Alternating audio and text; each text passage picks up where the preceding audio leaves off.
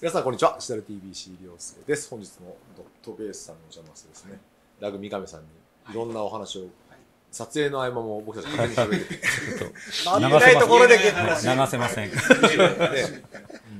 裏でカメラ回すとどうしよう危ない。死んじゃいます。さあ今日は、はい。えーまあ、クラブのことをね一応まあ一通り、まあ、まだ本当表面的な話で本当はもっと深い話がしたいんですけど、まあ、一応ねざーっとしてきた中で、えー今日はボールを、えーお話をしていきたいと思います。ゴルフは球技ですのでやっぱりボールがすごい重要、まあある意味一番重要ななんじゃないかと思いますので、えーボールについてお話を伺いたいと思います、はい。よろしくお願いします。お願いします。ボールなんですけど割とまあアベレージゴルファーっていうかアマチュアの人はあんまり頓着してない人は 安ければいい。安ければ。消耗品じゃないですか。はい。だって高いの買ったって一発でいけになっちゃうかもしれないしっていうでもや安さで選んでいいのかっていう話もありますよね安いボールと高いボールと何が違うんですかね？うん簡単ですよ。何ですか？性能の差です。ボールほど一番わかりやすいものなくて高ければいいボールで、まあ高ければ飛んで止まる。えー簡単に言うと安いほど止まらないです。まあ、硬くなったり、はい風合いとかがはい。悪くなったり打感もそうですね。好みありますけども、もちろんや、えっと、安い方でそのふにゅふにゅって柔らかいその違う柔らかさは あったりはするんだけど要はいわゆるその、まあ、V1 だったりツアー B だったりああいったボールにその、うん、と中上級者のゴルファーが求めてる柔らかさとは異なる柔らかさでで総じて止まらないものがやっぱ多いのかなっていう印象が多いですでそれが止まらない、まあ、止まらない、まあ、止まらないから飛んでってくれるっていう認識だったりあとは曲がらないっていう認識に多分なる方はやっぱりそっちのボールを選ぶ方もいらっしゃるとは思うんで別にそれを否定する気は全然僕はないんですけど、えー、と飛んで、えー止まって風合いがいいのはそれはツアーボールになっちゃうんだと思うんですよ、値段がはい変わります。そこはね否定できない。やっぱりじゃあ一回ちょっといいボールを使ってみろと、そしていいボールを要するに皆さんなんでいいボールにしないかさなくすからでしょ？でねボールをなくすってことは スコアを失ってるんだっていうふうに気がついてほしいんですよ、なるほど。だからここは狭いからなくなっていいボールっていう話をした瞬間に 僕は生徒さんに雷を落とすんですよ。じゃあお前これダボでいいのか最初からと諦めて。そうじゃないだろうと、はい。うん。だからあの実際僕たち学生の時にボール1球出されて1球がなくなった時点で帰ってこい。何番までいけたかと。スコアじゃなくて、はい何番ホールまで、はいなんなら18ホール全部回ってくれるかどうかを、まあ、やったことがあるんですけどやっぱそういうなくさないって考えたらはい攻め方も変わるし、はい。それクラブの考え方も変わるんですよ。その一球のボールをなくさないために、じゃあドライバー持ちますかって言って持たない方多いじゃないですか。じゃあなんでドライバー持たないんですかって言ったら自信がないっていうわけですよね。じゃあ自信のあるクラブにしましょうよって僕は考えるんですよね。なので一球で回るってすごいいいですよ。下手したら一番と書いちゃいますからね。僕はあのショートコース行ってあの一球しか持ってかなくて ポケットに一球しか入ってなくてすぐ帰ってきてくれショートコースでさえそうなんですよ。そういうことですよね。だからスコアを競うゲームで、い、かに少ない手数で穴に入れるかっていうゲームをややりたいわけですから球がなくなるっていうのはある意味一番避けたいことなんですよね、そうすると基本的に見えるところに打つっていうのが鉄則になるし、知ってるゴルフ場ならあそこはこう抜けてるからこう打ってこうっていう想像力が働くんだけどやっぱ知らないゴルフ場に行ったら基本的にまず打てる見える見えるところにやっぱ打つわけですよ、まあ、今はほら GPS とかあるからパッと見てあっちに行けからって分かるけど、そういうのなかった時代は、ね、ドライバー持たずに5番アイアンでまずここあそこ打っとこうとかってやっぱ考え方になると思うんで、まずそれが基準だと思います。でその上でその上でまあじゃあね多分シダル TV をご覧になっている方はまあそのそれなりにやっぱ飛んでほしいしそれなりにコントロールするボールが欲しいよねっていう時に、ボールのその違いはい。によって何が変わるんですか？なるほど。例えばじゃあタイトリストさんだったら、は V1、V1X あります V1X、ね。今レフトダッシュって、はい。まあ、そのボールのえー硬さとか、はい。うんとね、スピン量とかカバーとか変わるじゃないですか、どんなことが変わるんですか？まあ、あのこれは完全にもうタイトリストの受け売りにはなるんですけどもやっぱり打感なので、あの前回のパターンの話につながるんですけどもパッティングのフィーリングで決めるっていうのが一番いいっていうふうには考えてますね。ショットではなくてパターンで。そうですね。ショットはどっちかというと慣れれるところもあったりするんですけどパターって結構フィーリングの部分が多いので慣れなかったりするので、まあ、それが各種メーカーによっていろんなものがあると僕は思ってます。だからそれをきちんとまず好みを全開に出してほしいっていうのがあります。でプラスボールって、まあ、こんだけの中にあるともう本当一個一個違うんですよ。あのスピン量だったり打ち出し角だったりほとんど変わります。でなと例えば A 社のこのボールが良かったけどもなんか近いボールが B 社のこれ使ってみようってやるとこの時点でもう違うショットが出るんですよ。全く同じことをしたとしても。であればあのいいなと思ったものを最低でも1年使ってください。これもこれ完全にタイトルの受け入れなんですけどもじゃないと結果わからないっていうふうには思ってます。でこれはあのいつも半分僕は冗談で言うんですけどもゴルフ人生で一番お金をかけてほしい道具は何かっていうともう真っ先にゴルフボールなんですよでクラブの方が単価が高いんですけどもクラブって1回買ったら下手したら10年とか15年とか使えるじゃないですかでボールって消耗品ってずっと使わなきゃいけないので一番お金かかるんですけども先ほど石井さん石井さんがおっしゃったように、まあ、スコアに直結する部分なのでボールに一番お金をかけてほしいっていうのはありますね。で各社そのいわゆるツアーレベルのボールっていうのは品質もすごくいいですし性能もすごくいいので、まあ、まず1個決めていただいてまず打感の部分で決めていただいてそれをずっと使っていただきたいというふうに思いますね。一応、ん。なんですかね。今今から20年前だと1球800円しそうかですね。はい。1ダースで9600円ありましたね。はい。はい。それが今一応1ダース5000円6000円前後今はちょっと高くなってきた。はい。でも実はだからちょっと安くはなってはそうですね。一時安くなったね。うんでまあ例えばマークダウンしてそれが3980円とかで買えたりするから、だからどうしてもいやコストがっていう時にはそういうマークダウンでいいから、まあ活用されるのはいいですねはい。その時に買いだめをするっていうのはありだとは思います。あとあのふるさと納税で買う人。あもちろんもちろんああるんですね。ぼ僕のことです。いや結構買ってる人多い。はいはいあのあと僕がこう本当にボール悩んでる方に言うのは、まあ、気になる銘柄使いたいなと思うワンスリーブずつでいいからまず買ってきてもらって、3ホールに1回ずつぐらい変えてやってごらんと。で別にそれがその結果本人が分かる分かんないじゃなくて純粋にたまたまでいいから、うん。いいスコアで回ったのはどのボールの時なの、はいっていう。はい。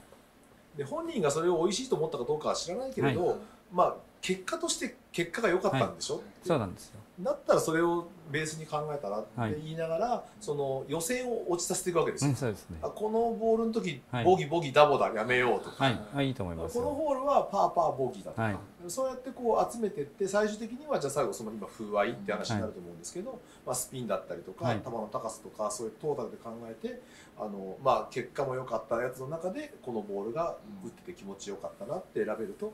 まあ、割といいんじゃないかなと思います。はい。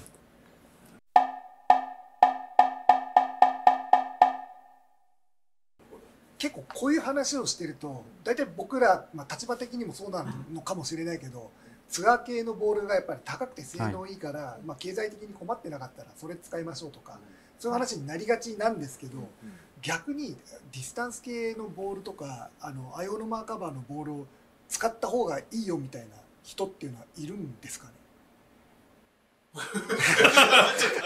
しいこと。ノー、ノーコメントで。えでもいいと思いますよね。ボールが、うん。えーと、アイオノマー系とか、まあ、例えばそのディスタンス系とよく言われるような類のタイプのボールを打つとツアー系のものよりも打ち出しが若干高い傾向があると思うんですよ。うん。だからボールがどうしてももう体力的に上げられなくなってきてしまったようなタイプの人にそういったボールを進めてうまくいくケースは、弾道が高くなる。まあ、打ち出しが高くなる。あ打ち出したから。うん、あのはあるかなとは思います。でもその時に打感が硬いとか言わないでね。とは思うけど。あとグリーンせっかくナイスショットしたのに着弾して止まらないっていうシーンがどうしてもそういう系のボールの方が多いとは思います、ただそれでもいいって言われたら別に。あのこれご本人に言われたわけじゃないんであの本当かわかんないですけど昔杉原照夫さんがあはい止まらないボールはないと。はい。おっしゃるわけですから,、だからそこまで計算してで飛ぶ方を選ぶっていうチョイスはそれはもちろんあってもいいのかなって思いますけど、グランで使ってましたそうです。あのよねエイジシュートした時はグランドでしたね。だからあの、はいやっぱりこう実際ねそのレッスンをしていて生徒さんなんかでも女性のゴルファーとかシニアのあの、まあ、それこそおばあちゃんとかにもそのディスタンス系のボールをみんな迷わず選んでるんですけど、平気で僕スピン系のボールを渡して、はい。グリーン周りでアプローチしてもらうとこっちの方が気持ちがいいわねっていう方が結構多くて、はい。でも実際そう選んだ時にドライバーとかが浮かないとかっていう問題がもし発生するとじゃあちょっとそこでどどどっちにしようかなみたいな選び方をしたりはしますね。なるほど球の上がりやすさは確かに違いますね。同じ例えば10ヤードのアプローチした時にも打ち出しが全然はい。異なりますから、で V1 とかで低く抑えたイメージで打ってたのに、まあ、そういうディスタンス系打つといきなりポコッと上になったりするんですね、ででもその方がいいっていう人も多分もちろん。はい。いてその方が止めやすいっていう場合にはその方がいいかな。正直飛距離に関しては僕そんなに変わらないと思ってて、ディスタンス系もスピン系も最近のボールに関しては。あのまあラン込みで考えちゃうと。もはやディスタンス系って呼ぶからいけないそうですね。はい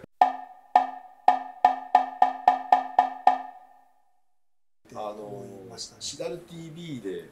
この間ボールのシダというのを初めてはい。やったんですよ。であのシダの仕方みたいなものもちょっとこれから精査をしないと多分ダメだなってやってて思うんですけど、まあ、一応ドライバー打ちますよね。結局まあ当たったか当たらないかって話はいにはい。結果、ね、左右されてしまうんですけどただでもボールによって例えば、えっと、今回タイトリストをあれですよ今回テーラーメイドのボールとキャロウェイのボールのまあ撮影をしたんですけど、テーラーメイドはドライバーで打った時に球の弾道が明らかに違うんです。よ。おーでキャロウェイはドライバーで打つとあまり変わらない、うん。3種類やってる、はい。3種類とも似たようななるほど。ただしアイアンで打ったら今度テーラーは同じような弾道で、うん。キャロウェイは弾道の差が出たみたいなことなるほがまあ、確かにこれはやらなければわからなかったなとは思うんですけど、やっぱりそういったのってメーカーさんのやっぱ考え方っていうかそうですね。その大きいと思いますよ。はい。うちはこういうふうにやりたいんだっていうとはいころですよそういった部分のそのボールの特徴みたいなのがもちろんそのね、えっとカタログ的なところで書いねてあるとは思うんですけど、はい。実際やってみないと本当に分かんないこともアプローチの飛ぶ飛ばないとかもある。そうですねあります。はい。やっぱそれはまあでも試さなきゃいけないそうですね。でゴルフボールの僕ね一番の闇は2年に1回リニューアルしてしまうことだと思うんですよ。間違いない。あの厳しいですね。ええ。はすごいだ例えば2010あれ7だったか8だったかあの、えっと、V1 が黒いパッケージになる前にちょっと黄土色っぽいような銅色っぽいパッケージの時の V1 すごい好きで。でそれの時に僕人生ベストスコアも出しててもうもう本当にそれもうずっと最後買いだめたんですけどやっぱいつかなくなるんですよ。はい。で新しい V1 にスイッチしようと思ったらなかなか全然ちょっと違うじゃんって思っちゃって そこからボールジプシーになって他社にこう僕は行ったんですけど、まあ、そういうこともあるじゃないですか、いやだって現現実的にはね。プロの中にもだって実はあの人は何年モデルを使ってるとか よくあるじゃないですか。言っていいのかな。それぐらいゴルフボールによってまあ結果が変わる、とは思うんですけどでもボールとしてその進化としてはどういう要は強い力に対しては低スピン化させて高初速にして球を飛ばそう、はい。で近い距離に関しては、まあ、あのスピン量を増やそうっていう方に進んでいることはそれはずっとそうですね。ずっ変わんないとそれがテーママになってますよね結局もう初速はルールで制限されちゃってるので、まあ、どうやって飛ばすかっていったらもうスピン量を抑えるしかないですから、まあ、飛距離性能っていうのはスピン性能にもう直結してますよね。でもまあショートゲームは変わらずというか、まあ、スピンがかかってほしいっていう方が多いのでそこをキープしながらっていうのが開発の目標にはなってますよね。でもまあねボールのルールが今度ね変わるわけですよね。はいまあ、初速を制限するというはいことなのかな、もう細かい概要とかは聞いたはい。聞いてないんですけど、まあ、330とか50飛ぶ人が数ヤード変わるみたいな話だから我々には芯に当たったか当たらないかぐらなんじゃないかっていう。可能性はありますね。はでもまあねあそういう意味で言うと一番進化したのがボールなんじゃないかっていう、うん。まあ、糸巻きとかねそういう時代から考えるまあ、糸巻きの時代も今も実を言うとマックスの距離は変わらないんですよ、まあ、ルールがありますからね。だからその飛ばせる範囲が広くなったって僕は考えていてやっぱり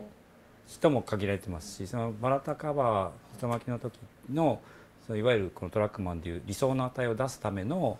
まあ条件がすごい狭いというかものすごい芯に当たらなきゃいけないとかヘッドスピードをこれを出さなきゃいけないとかいうこう範囲が狭いだけ。今は比較的どんな人でもちょっとこう早めに出せたりとかそういう進化はあるかなと思うんですよね。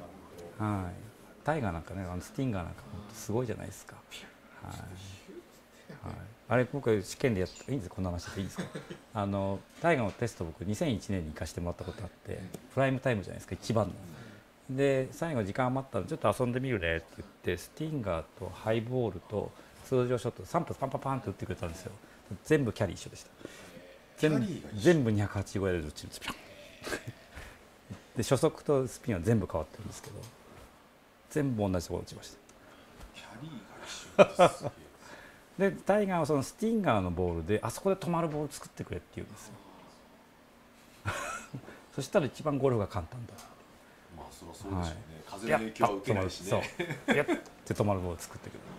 はあみたいな。でもボールのその変化、まあ、進化というの変化なのかで、結局ロングアイアンを使うユーザーはどんどん減っていって、はい。そこがハイブリッド化したり中そうですね。級化したり、それはやっぱ道具が変わったことに対してゴルファー側がやっぱり変化せざるを得ですねないんですよ。はいやっぱ USPGA の選手を基準にして考えちゃうとまだまだスピンを減らしていいっていうふうに考えるかもしれないですけどでも見誤りますよ、ね。我々のレベルでいくとちょっとスピンは足りなくなりつつあるかなと思いますね。実際に自分のアイアンショットで打っててボールが浮かないっていうか、うんうん吹かない感覚がどうしても最近するんでめくれないですよねめ。くれます なんでブロフト増やしたりとかも自分でしてったのもやっぱそこがあって、はい僕割とそのアイアンが飛ばないっていう自分の中にコンプレックスがあっああなるほど。てで立ててるアイアンを割と好んで使ってたんですけど、でやっぱり昨今のボールでもう今度止まらないとか、うん。浮き切らないって思うのがどうしても多いので、はい。ブロフト寝かす方向にまた戻ってきてるんですけど。また風にも強くなりましたね。あー曲がんない。これあれ？ショットシェイプの話は前回やったんでしたっけ？え？まあ、ちょっとちちょっと前にやったのかな？いう話でいくと、まあ、選手が悪いんではなくてそのボールも曲げられなくなってるっていうのはありますね。もう大体風の方に打ってもそのまま行っちゃうとかさっきのめくれない話なんですけどアゲンストに当てていくとかが逆に難しかったりはしますかね。みんな高いボールで普通に、はい。昔はね風のいろんなことを低いボールで打ってるよいろんなことしたりしますよね。でも結局でも選ぶのはパターでが一番いいと思うんです。パターショートゲームで選ぶのが得策だと思ってますよね。ウェッジで僕選ぶかな。はい。めっちゃ変わりますよねすはいごいなんか変わる印象が、あとアイアンもなんかぴったりだなと思ったやつがすごくいってたりとか、はいはいボールによってそのそうですね。実際あのラウンド動画で芥川さんがゼクシオのアイアンとボールで打った時にいいとこにいや落ちてるのに、結局グリーン奥まで行っちゃってるっていうのはあれは芥川さんが悪いわけじゃなくて、まあ、あのボールが止まりづらいっていう、まあ、逆に前行ってくれるってことのメリットを受け入れて、その花道から行けばいいんだけど、まあ、そうじゃない。グリーン狙えちゃうからはい狙っちゃうんで、ドライバーのランが出てるっつったもんね。そうそうそう、うん。多分キャリーはいつもとそんなに変わってないと思うんだけど、ランで5ヤード10ヤードはいつもよりは飛んでるっていう感覚はありましたね、なんかボールの影響も結構でかい、実際に TP5X と TP5 だとスピン量が平均的に300回転は違ってましたしね、TP5X の方が若干スピンが少なくて、なるほど。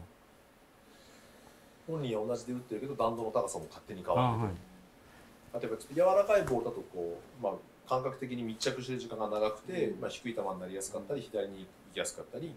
硬いボールだと、まあ、この瞬間飛んでっちゃうからちょっと右出やすいな高い球になりやすいなっていう印象もあるんですけど、まあ、でもボールの選び方、ね、そういうのも含めて選んでいくといっぱいありますからねいそうなんですよねーがあって。ショートゲームで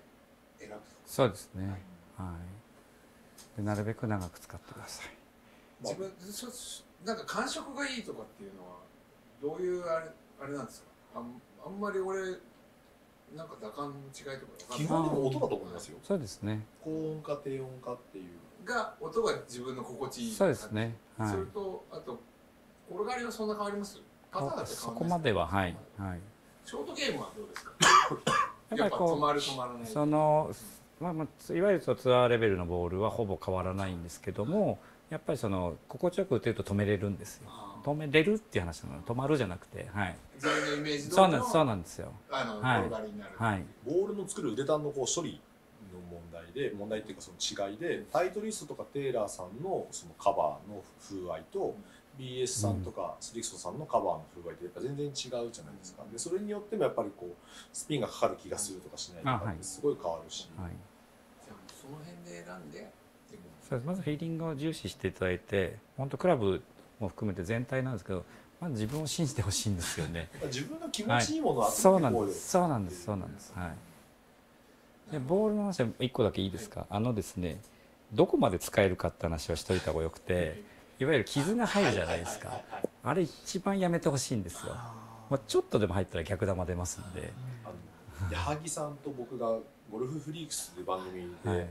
あの BS の秩父のセンターに行ったんですけど、あのカート道にガリッとこすったやつを左にこうやって置くと、ピシュそうですそうです。ーッと曲がるんですよ。泥ついてるドロッツと同じです。効果的には一緒です。もうディンプルなくなっちゃうんで。だからその、はい。えっと、ディンプルが翼だっていう表現されていて、その翼に対してそこが塞がってるとそこに気,、ね、気流というか、はい。こういっちゃうよ。揚力も変わる。はいまあそうは言ってもねいきなりちょっと気づいたら使いたいよね。そうなんですわかるわかるけど。じゃあマジックでも名前書かれるのも嫌だとか。ああそれそれは開発の人は なんで私たちが頑張って丸くしてるのに 凹凸をつけるんですかっていういやなんかちょっと俺スライスなんだよなって人は傷がついたやつを左側に置いて打ったらいいのかなセカンドどう。するのそれはもしかしたら厳密に言うとルール違反かもしれないなるほどセカンドショットより真逆になるそうそうそうなんですよ綺麗なボールにこうラインとか自分で入れてる人も今いますけど、まあ、プロでもいっぱいいるとは思うんですけどもうライン付きがあるもんねあそうですねありますねあのラインは好きですかえーっとこれはあのいろいろ統計があって えーっとゴルフスパイクかなんかでやってたのかな？えーっと入れてる人と入れない人のこの統計を取ったら綺麗に50対50だったそうです。入る入らないの確率が。であれば時間のかかるまあさ揃えるのも大変な作業はいらないんじゃないかっていう結論にはなってましたね。まっすぐ向けて後ろから見てるんですけど、上から見たらまずまっすぐ見えないんですよ。いや真上に多分頭がない限りまっすぐは見えないはずで、まあ、それが耐えられないのと あとドライバーパーンって打ってセカンドでこっち見てる時にこっちこっち打ちたいんですよ僕は。わかる、こっち見てとかこっち見てとかなると、はい、でも触れないからまあドライバーで悩んでる人にまっすぐこうだよってやってこれに沿って打ってごらんってやったことはもちろんレッスンではあるんですけど、い。ざ自分が使うとなるとなるべく無地の白いところを打っておいた方が、僕は好き。これでマキロイやってなかったですね。本当に先週見てたら。あ上にあの何もないとこ置いてると思って。なんかクラファスさんとかもなんか白で打ったり繊維で向けたりとか。はいはいはい。